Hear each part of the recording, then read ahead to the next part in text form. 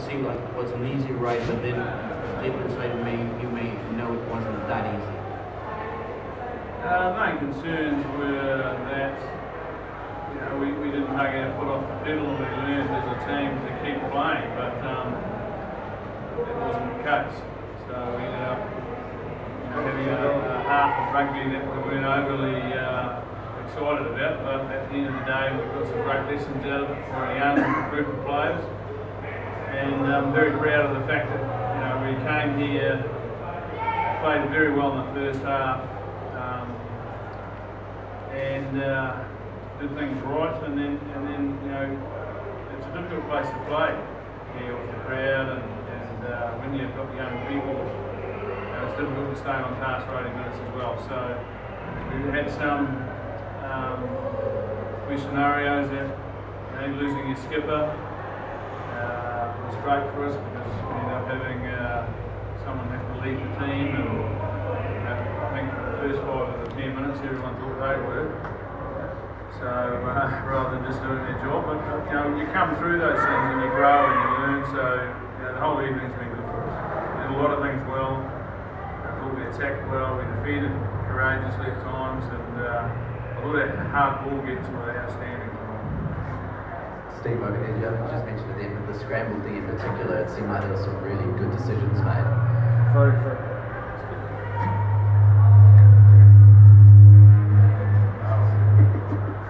Maybe we'll just, That's not my brain thinking. Ross, we might just flag the mics. Yeah. Look, here, that- that- That's fine. Yes. Okay, we okay? Peter? Scramble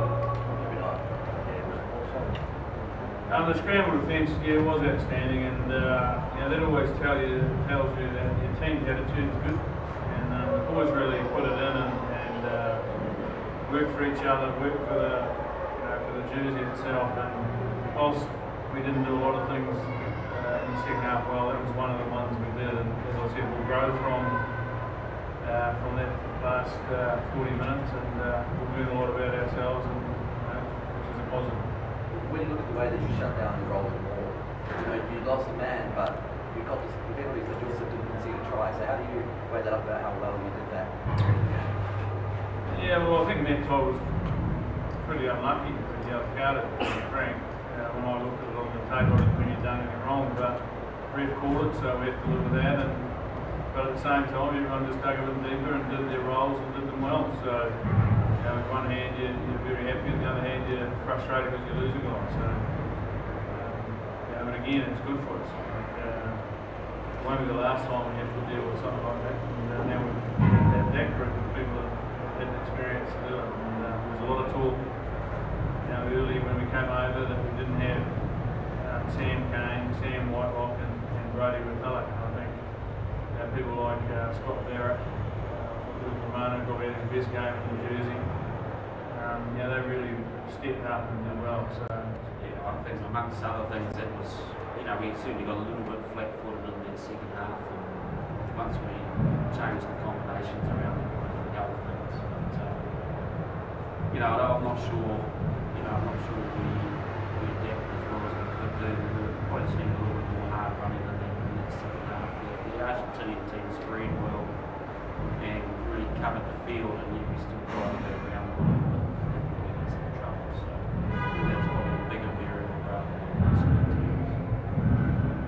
Jamie?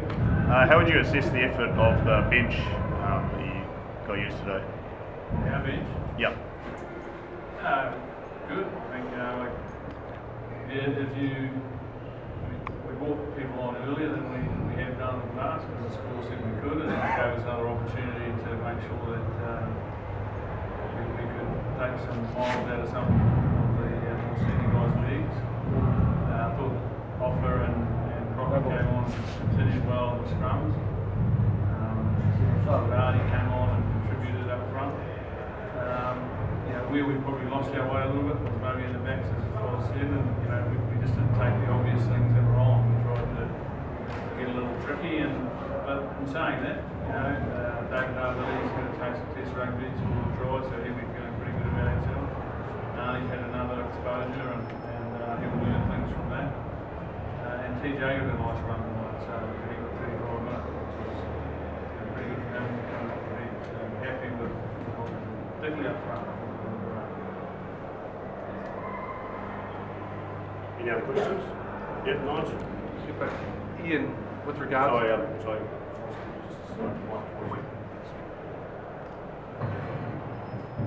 Yeah, where goes, sorry, mate. With the halfbacks, are you worried that there's a, a drop off when Aaron departs? There, there has been some coincidence. Is it just coincidence, or is there actually an issue there where Aaron goes off and then things does seem to, to get a little bit muddled at times? Uh, am I concerned it? No, I, don't think that was the reason that we we uh, got a little bit muddled. You know, I think even in the first half we were where we got put under a lot of pressure from the back of the ruck. You know, the Argentine teams targeted it in the first couple of rucks we had and it put us under a lot of pressure. So even then it wasn't as smooth as like. But you know, TJ he's a different sort of player, and you know it's hard to compare people to Aaron. You're looking at sort of speed and ball, but if you look at TJ and the impact he did with his, you know, with his defence and his jack his wing turnovers, his, he really, you know, he ran the blind and a little rubber kick through, which was a great decision. Just went a bit long, you know, a different player, but he's outstanding in his own right. Yep. Ya puede ser. Yep. Eh, para Ray. Eh, ¿Qué tal? Soy Pablo de Movarado, de la provincia de San Juan. Y la pregunta es, eh, los All Blacks juegan tan sencillo, tan simple, tan fácil, que complican absolutamente a todos. Y que, bueno, obviamente su juego se ve y se manifiesta de un modo en donde, bueno, justamente hace a que se compliquen los rivales frente a la simpleza y la sencillez que los hombres de negro visten. Sí. Mira, señor, sí. yeah.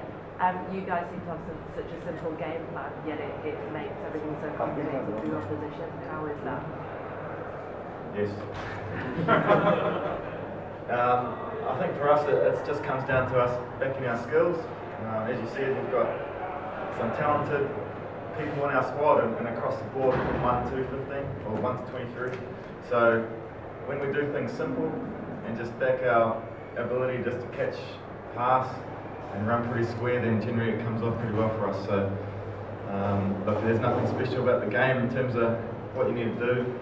Um, turn up with the right attitude and intensity, and then uh, we certainly enjoy scoring tries as well. So I think that helps. Yep, the back. En español puede ser. Eh, ¿Qué opinión tiene de- del juego de, de los Pumas de Argentina? Y si justamente Argentina sigue por este nivel de juego, algún día va a llegar a, a poder ganarle a los. What's your opinion of your position tonight, and do you think that one day the Pumas will be able to beat the All Blacks? Yeah, I think they will one day beat the All Blacks. It's, it probably will happen. Um, hopefully not in my time in Jersey, but look, I think uh, they're growing as a team. Um, I think they're learning about having to play for the Jaguares for a long time and then turn up and play for the Pumas and um, change your game a bit. Um, talking to them, it, it, it travels hard. Um, but you know, for them, they put patches on the field. Uh, we saw it in New Plymouth. We saw it today in the second half when they came out. That they're a very dangerous side. So when they put it together and, and maybe get 80 minutes and, and can do that, then uh, they're certainly a dangerous side, and we respect them. We certainly turn up with the right right attitude because we know that if we're not quite there, then they're, they're good enough to, to knock us over. Two more questions. Yep, down the back. Eh, siempre que vienen a Argentina eh, hacen un trabajo social muy importante. ¿Qué es lo más eh, destacado que te llevas de este país? Sí, there's a question for You always off the field. You're always involved in other activities while you're here in Argentina. What What do you think is the standout of what you've seen of Argentina so far? Away from rugby. Away from rugby. Uh, we, um, but we came here for, for the game. I think it, it's a pleasure of being on tour as you do get to enjoy a few things around town. Um, uh, River Plate Football Stadium for us was, was, was pretty enjoyable. One more question? Yep. I just want to say the um, we went on a tour of your street art on Wednesday, and that was pretty special seeing some of the, uh, the work done on the buildings. And, uh, not sure which part of town it was in, but it was pretty cool. Yeah. And the hospitality is great. It doesn't matter where you go, people are friendly and very supportive. So it's a nice country to tour. Ross, uh, Steve, this year's game had to be almost directly from the last year's game here. What sort of lessons do you take to make sure that that doesn't happen next year as well? It could happen because it's a difficult place to play. I think if you go back through the history books of All Black games in Argentina, they've always been tough. And um, you know, we, we we took some risk in leaving some people at home because we know that uh, you know, the end of the year tour we, we need to have some fresher legs. And uh, but we got the rewards for that tonight because the young guys come over did a great job first uh, 40 minutes and then their way through some ugly stuff in the, in the second 40 and uh, you know, they'll grow an arm and a leg. So it's just not an easy place to play. So you just can't rock up and, and uh, have sweet and easy. You know, as Kieran said, they're a good team and uh, whilst we had a lot of the momentum in the first half, um, we allowed them to have some in the second half and we have to work very hard. Thanks everyone. We'll have uh, players in the mix zone.